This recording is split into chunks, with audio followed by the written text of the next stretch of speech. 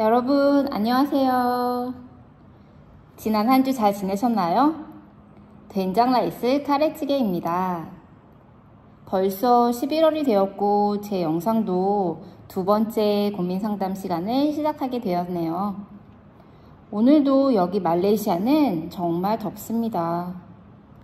동남아에는 천장에 선풍기가 달려있는 집이 굉장히 흔한데요.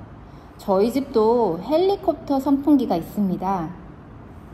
처음 인도에서 이런 선풍기를 보고 아, 웬 프로펠러가 천장에 달려 있어 라며 시겁했는데 이젠 저거 없으면 잠을 못 잡니다. 사람이 이렇게 환경에 적응해 가더라고요. 지금도 촬영하는 이 방은 엄청 더운데요. 소음이 좀 있어서 저 선풍기 키지도 못하고 또 에어컨도 소리가 나서 못 키고 또 찜질방이네요. 소음 없는 선풍기를 하나 마련해야 할 것 같습니다.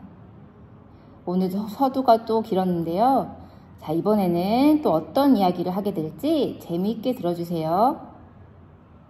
제목에서도 보셨듯이 오늘의 고민 주제는 외국에도 씨월드가 있나요?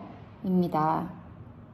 이 질문도 제가 블로그를 하면서 정말 많이 받아본 질문인데요. 궁금하시지 않으신가요? 성격이 급하신 분들을 위해 제가 대답을 먼저 해드린다면 제 대답은 yes입니다. 뭐 당연한 얘기가 아닐까요? 아무리 좋으신 시부모님을 만나더라도 친정 부모님이 될 수는 없죠. 그리고 이건 너무나도 개인적이고 주관적인 평가라 본인이 어떻게 받아들이느냐에 따라 대답은 달라지지 않나 싶어요. 난 시월드 같은 거 없어 라고 하시는 분들도 만약 다른 분들이 똑같은 걸 경험했을 때 너무 스트레스 받는다고 할 수도 있고 또 그 반대의 경우도 있을 수 있고요. 당연히 문화의 차이도 있을 수 있겠지만 전 이건 지극히도 개인적인 성향과 본인이 자라온 환경에 의해 받아들이는 강도가 달라진다고 생각합니다. 예를 들어 저 같은 경우엔 인도 남편을 만나 인도 시월드를 경험하고 있습니다. 인도는 어떨지 궁금하시죠? 당연히 인도도 가정마다 분위기가 너무너무 달라요.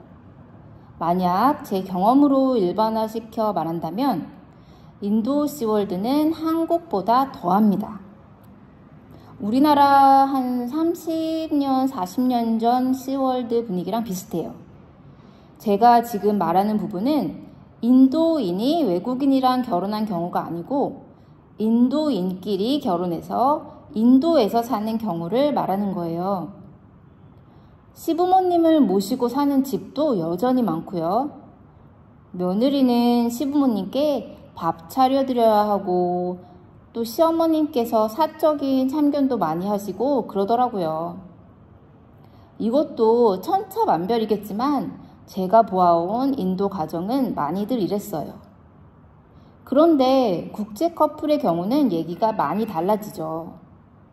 일단 국제 부부들은 인도가 아닌 외국에서 살게 되어 시댁이랑 1년에 한 번 정도 만나게 됩니다.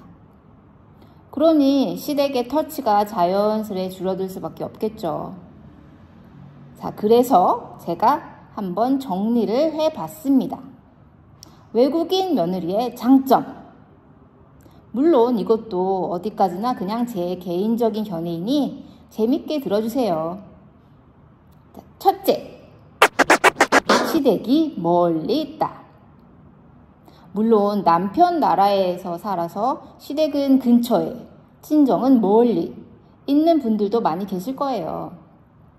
근데 이러면 이건 정말 최악이죠. 근데 제 경우엔 시댁도 친정도 먼 제 3국에서 살고 있어서 장단점이 다 있습니다.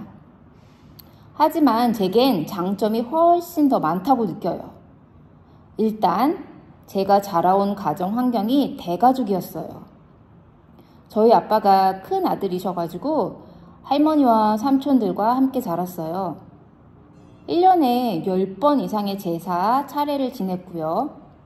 저희 엄마께서는 외출 한 번을 마음 놓고 하신 적이 없으시고 매일같이 불안해하시며 30년 이상을 사셨어요.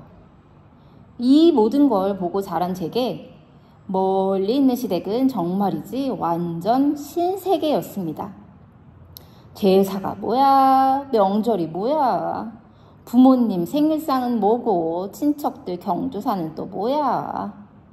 이 모든 게 그냥 스르르르 묻혀지는 대단한 경험을 했습니다.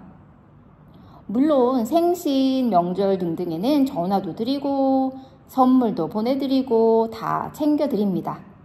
하지만 안 가도 되는 이 자유. 아니, 안 가는 게 아니라 못 가는 게 당연시 될 수 있는 최고의 이유를 갖고 있는 이 특권. 이건 제 입장에서 국제부부 최고의 메리트 중 하나라고 단언컨대 말씀드립니다. 자, 그럼 외국인 며느리의 장점 두 번째는요.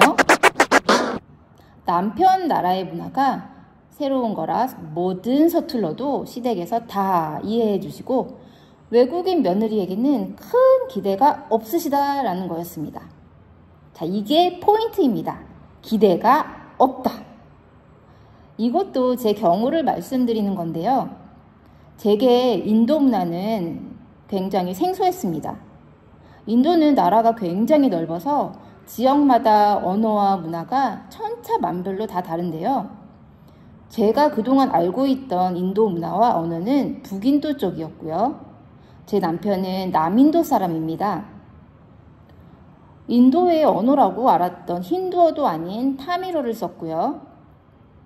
제가 알던 난과 카레가 아닌 정말 듣도 보도 못했던 음식을 드셨습니다. 나중에 남인도 음식에 대해서도 한번 영상을 올려볼게요. 자, 그러니 시댁에서 하는 모든 게 다 처음이었고, 그런 제게 뭘 시키실 수가 없으셨겠죠. 그렇다고 저희 시부모님은 인도 음식 말고는 다른 음식은 전혀 안 드셨어요. 그러니 제가 시댁에서 음식을 할 수 있는 것도 아니었고, 또 명절이나 경조사에 맞춰 시댁을 가더라도 다들 타미로만 쓰시고 뭔 복잡한 절차들이 많아서 전 진짜 구경만 했어요. 물론 청소 같은 건 제가 맡아서 했고 음식 나르는 거, 치우는 거 정도는 했습니다. 저희 친정 엄마께서는 1년 365일 삼시 세끼를 최소 9첩 반성으로 해드리고 또 명절 때는 일주일 전부터 하루 종일 부엌에서 나오시질 못하셨는데 그거에 비하면 전 진짜 씨월드가 아니고 무슨 문화 체험하러 간 대학생 같은 느낌이었죠. 완전 따따봉입니다. 그래서 이로 인해 따라오는 외국인 며느리로서의 또 하나의 장점. 자, 세 번째 장점입니다. 조금만 잘해도 폭풍 칭찬이 따라온다는 겁니다.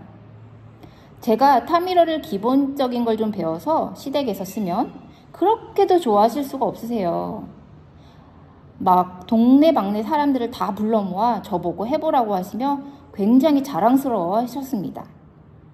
사실 서당께도 3년이면 풍어를 읊는다고 저도 결혼 10년 차가 넘어가니 이제 웬만한 타밀어는 눈치로 대충 알아듣거든요. 근데 시댁에서는 절대 못 알아듣는 척을 합니다. 그래야 제가 편하거든요. 그냥 눈 감고 귀 닫고 입 막고 있는 게 최고입니다.